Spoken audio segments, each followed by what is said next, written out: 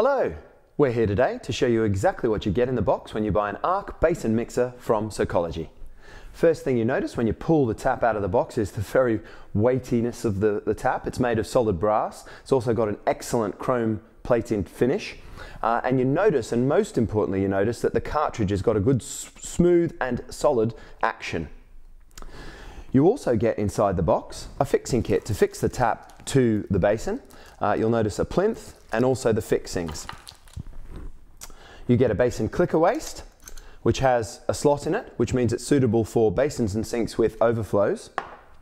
You get a set of tails to connect the tap to the water supply, and these have a 15 mil uh, compression fitting at one end and the fittings to go into the base of the tap at the other.